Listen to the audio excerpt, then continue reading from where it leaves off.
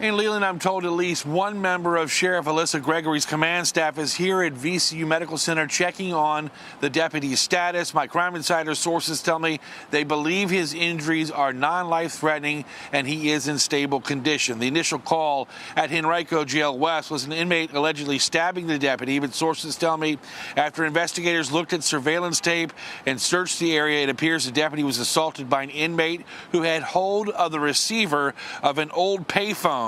Sources say the deputy was hit in the side of his head several times. It happened around 8:30 tonight, again at Henrico Jail West. Sheriff Gregory was on scene and told me that she is going to request HPD do their own investigation. Now, sources tell me the jail was put in lockdown mode while administrators and investigators did their work. It appears the veteran deputy was assaulted tonight, and the weapon, again, was part of an old payphone. No word right now on who the inmate is is. We hope to get that information and we'll pass it on to our viewers on WTVR.com. Reporting live outside VCU Medical Center in downtown Richmond, Jon Burkett, CBS 6 News.